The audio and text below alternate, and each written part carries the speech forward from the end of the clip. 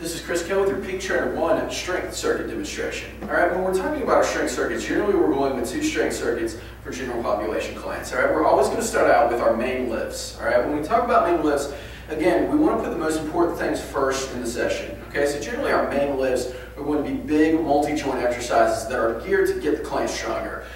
The, um, the goal with these exercises, think of these as the drivers of everything else that we do. Alright, these are the things that are going to get the client stronger that regardless of what they're doing, you know, going to increase their force. And these are truly the ones that we want to strength train. So we want to progressively increase either weight or reps or get some sort of progress from these with every session. Okay, so some examples of that um, would be something like a chin up, right? I'm going to give you the examples that we used in our um, our, our sample template that we, we give out here. The chin up is a multi-joint exercise, right? It's using um, every major muscle in my upper body, some to stabilize, some to move, but this is one that I really want to ingrain with many of my clients as a foundation movement that I visit and revisit to get the person stronger over many years, right? So think about keeping the shoulder blades down and back. I would have the person perform in the beginning, you know, whatever prescribed rep range, right? So if we said six to eight reps, and I do nine, that means that for the next circuit, I would move to just a bodyweight chin, okay, where I'm just coming up and down,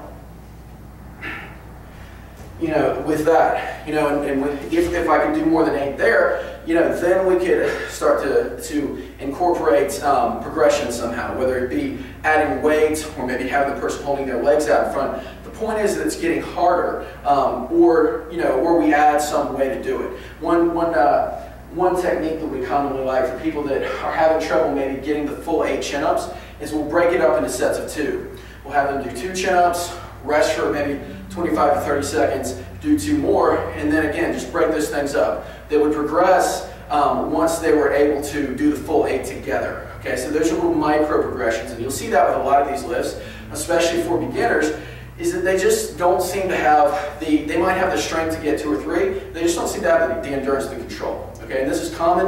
Um, so the, this method is called clustering sometimes, and that's something that I highly recommend. So think about maybe um, rather than doing two, a progression would be to do three, you know, and then three. So eventually, you know, maybe they do a set of six, rest for 30 seconds and do two, and then, then on the next workout they do the full eights. Okay, but that's a kind of a micro progression that you can use to move through this, um, some of your clients. Now, um, another, what we can, would consider main exercise would be a goblet squat. Right, with the goblet squat, um, this is the starting progression for all of our clients on the squat exercise because um, you know the goblet position helps me to engage my core a little bit better, sit back. Um, you know, you'll notice that I'm squatting back to a box here, right? It teaches the client to sit back on their heels, to stick their butt out like a bad dance move, and to ingrain that proper squat form, tap, and come back up. All right, now we could progress this in either one of two ways. All right, I could add weight or I can increase the range of motion because ultimately I want the client to get, be able to get down parallel with good form. So now, okay, I've increased, I've progressed. So if I can do more than eight with the blue pad, I move the pad away. If I can still do that, okay, then maybe I put more weight in the client's hand. But generally we're progressing range of motion first, and then we start to increase external loading. All right? The progression for this would be, and, I, with progression, is not just the weight that we use, it's the implements that we use as well we would progress from a goblet squat, you know, we, we might get the client up to, we have up to 80 pound dumbbells in our gym, so we would go up to the 80, and then we would start to progress into a front squat where we put a barbell on their, um, the front of their, their shoulders, came into either a clean grip or cross grip, and again, taught them to, you know, utilize this. So again, there are different ways to progress, and, you know, it's not always going to be simply adding weight, just based upon the client do what makes sense. All right, if the client hits a point of diminishing returns with the squat, maybe move them to a single leg exercise where they don't need to necessarily hold as much weight to create stress in one side or the other. So there are a lot of ways to skin a cat. All right, but the point is that we're revisiting exercises like the squat, like the deadlift, like the chin up, like the push up, and the bench press to act as the drivers of everything else.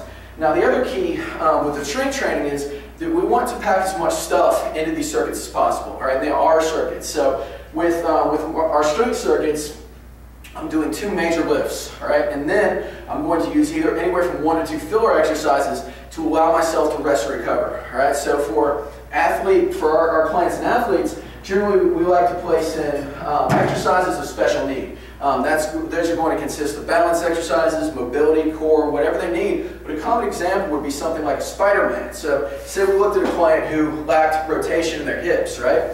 What I would do is, as their filler exercises, I'm going to place in a Spider-Man, okay, again, which is kind of increasing hip rotation. Okay, on one side, I would do 10 on one side, 10 on the other side, and then I would move something like plank where we're working in non-competing areas. Okay, so what that allows me to do is I'm working on, you know, mobility in specific targeted areas, and then I'm working on core stability. Two things the client also needs while they're resting. So we're getting in as much density as possible. That makes the training program more dense. We can train a lot of things at once, and this starts to allow us to do things to address our movement strain and uh, get more in and increase value of the session. Now for our second circuit, which would be what we call our auxiliary circuit, we call it auxiliary because at this point, the client is going to be fatigued somewhat. Um, they're not going to be as strong. So the list that we choose for this particular circuit, don't, uh, you know, again, um, should be standing. You know, we want, we want the client to be able to use their extremities and use their full body and all of that. But at the same time, um, they're a little bit easier. They might, uh, they might be things that address a particular need. Um, more single leg exercises in this circuit, more single arm exercises in this circuit, and things that involve more endurance-based training. If I'm doing three to five reps in circuit one, I would be doing something like maybe eight to 12 or six to eight in circuit two to account for that fatigue. With these exercises, it's not as important that we're progressively increasing each workout. It's a bonus and we definitely want to try. But if they don't, you know, these are the ones that um, are going to kind of start to address different things. And these are exercises that can actually change, um, you know, either from every two weeks or week to week. Um, it, what we like to do is vary the pattern. So if doing a push-up as my auxiliary pushing exercise in week one, where I'm just coming down to the floor, in week two, there's no reason why I can't do something like a T push-up. Okay, or in week three, I could do a Spider-Man push-up.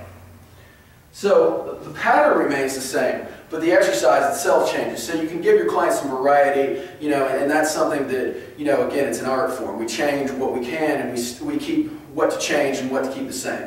So for this example circuit, um, what I've chosen is a one-arm dumbbell press.